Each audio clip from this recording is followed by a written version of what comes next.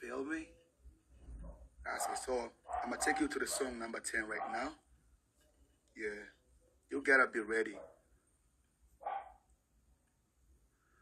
You got to be ready for the midnight. Biggest big night. Let's see what's up.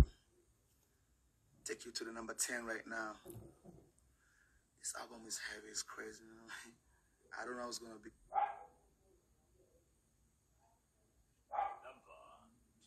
Number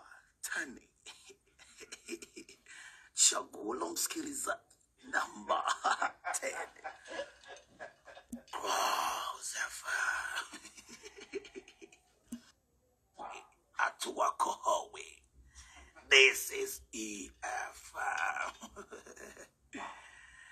to all Tanzania medias, man. Shout out to East Africa TV. Shout out to Passion FM, Kiss FM, all radios, Physical Dimension, Daughter, Klaus FM, um, uh, EFM, you know? Yeah, so shout out to all big medias. And even Safi FM, I made that shit, so I'm proud of it. And even Safi FM, I made that shit, so I'm proud of it. And even Safi FM, I made that shit, so I'm proud of it. The song called Dunia and if you ask me your favorite song in my lifetime, Sokuni album, my lifetime, I will tell you Dunia is my favorite song.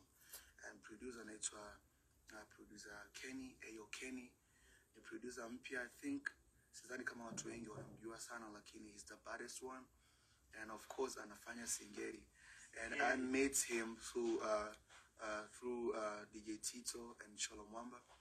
mm, wakati tunafanya singeli kwa sababu kwenye album kuna singeli na singeli kweli. So the time I was uh, making alinitumia beat akanambia akanambia mwanangu, sikiliza hiyo. So it just came up like idea, ni kwa tunakaa najiuliza hivi hii dunia ni kitu gani? Kwa sababu like ukifuatia historia unakwambia dunia imeanza huko nini nini, sasa unajiuliza huyo alikuwa anaandika mwanzo wa dunia ni nani? Lakini pia vitu vingine very funny ukijiuliza Eh, ni swali ambalo natakiwa kujiuliza, lakini hamna, sidhani kama kuna mtu kisha kutumia risali moja kujiuliza nini dunia, na ukitumia risali moja kujiuliza dunia ni kitu gani, trust me, unakuwa ni mtu mwema. Huwezi kuona sababu ya kugombana na mtu, huwezi kuona sababu ya kufight anyone. Um, lakini sasa kitu kingine ambacho kinachonifanya nijiulize zaidi ni kwamba kwa nini yani vitu vizuri vyote yani sijui sijui hela sijui mpira, wanakwambia mpira shetani, muziki ya ah, shetani, sijui sio pesa, pesa ni shetani, sijui sijui mihadarati shetani, kila kitu ambacho watu wanakipenda uh, ah, wanakwambia ni shetani. So maybe um, some genius people waliona kabisa the way to kuifanya dunia iwe same better pressed to live, wafanye hivyo na come up na I, I don't know I'm just, yani hiyo ni mawazo tu ambayo najiuliza um, so at the end of the day um, yani sipati majibu. So naamini hiyo message nitakuwa najiuliza mpaka siku yangu ya mwisho, na naamini hata wewe pia utakuwa unajiuliza muda mwingine, ukiwa huko unajiuliza kwamba kwa hiyo kwa mimi kabla sijaja hapa duniani niko wapi na nikifa naenda wapi? So kama unaelewa, of course you sure ukifa, amna mtu ambaye uh, ah, vitabu vinatuongoza vya dini zote na ndio vinatufanya tunakuwa na imani na ndio maana dunia inakuwa ni sehemu nzuri, lakini some point nachukua muda na kuwaza kwamba nini dunia yangu ni a proper Muslim kwa wale ambao wamebahatika kumwona. My dad is like a deep Muslim. So siku moja alinitembelea, tuko tunapiga story, tuko kwenye gari, nikawa napiga nyimbo, napiga nyimbo kama tatu sita, na that was my first time nimeona babangu analia, kwa sababu babangu mimi ni asili sana ni mtu wa dini na imani kubwa, na hata watu wakifariki babangu ndo anawazika. Unajua kuwazika Kiislamu vile, yeye ndo anawazika. I know that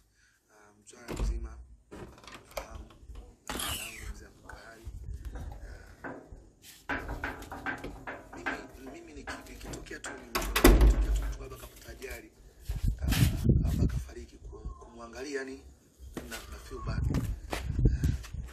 Atumia na ujasiri huo wa kufanya mtu kumhifadhi mtu kuonana kwenda kumzika and all that. Nikajiuliza kitu gani ambacho kimemfanya alie. So at the time wakati analia sikumuuliza. Kwa nikamwacha ame calm down.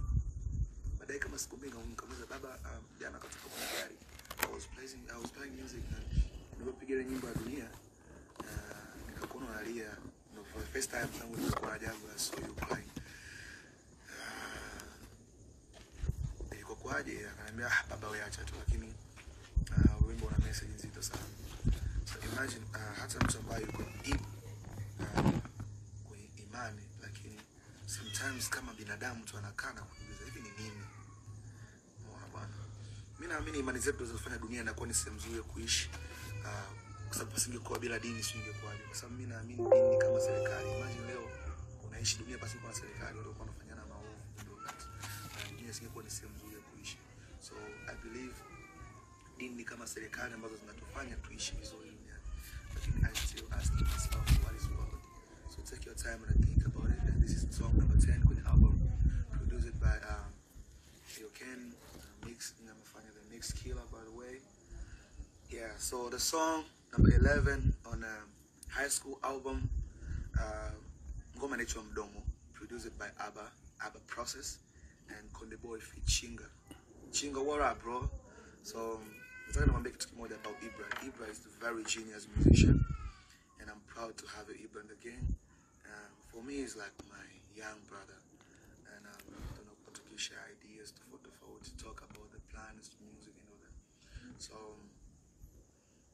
I sing a on the album because he's one of my favorite singers and take it from me uh, in this generation, the new generation, I believe Ibra is going to take more over because he's is talented. I know a lot of talented musicians in Tanzania, all over the world, but Ibra Chinga is going to take over kwa sababu anajua kitu, anajua kuimba, ana sauti nzuri, ana mwonekano mzuri, anajua jinsi ya kuvaa, anajua aongee nini. So there's no like, there's no point asiwe superstar worldwide. So it's just a matter of time and your album we came up, we produce it by urban process. You got it? You feel me? So I want you to feel this vibe. One of my favorite song in the album. Song called Mdomo. Called The Boy Fichinga. Enjoy. It's more about Ibra. Ibra is the very genius musician. And I'm proud to have Ibra again. Um, for me, he's like my young brother. And um, I don't know, want to share ideas to, for, to, to talk about the plans, music, and all that. So... Um, asingekuwepo kwenye album ningejisikia vibaya sana because he's one of my favorite singer and take it from me uh, in this generation the new generation I believe Ibra is going to take more over kwa sababu he's talented I know a lot of talented musicians Tanzania all over the world but Ibra Chinga is going to take over kwa sababu ana kila kitu anajua kuimba ana sauti nzuri ana muonekano mzuri anajua jinsi ya kuvaa anajua aongee nini so there's no like, there's no point asiwe superstar worldwide. So it's just a matter of time. And on your album, we came out.